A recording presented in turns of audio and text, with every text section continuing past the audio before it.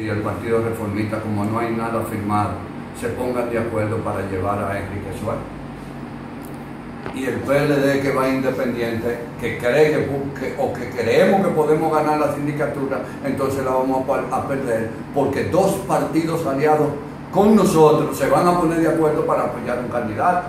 Y con eso te sirve como ejemplo para cualquier provincia, para cualquier municipio. Entonces le sugerimos al gobierno y a los partidos aliados que ese tipo de acuerdo tiene que ser firmado por los aliados y por el partido oficial, que es el Partido de la Liberación Dominicana.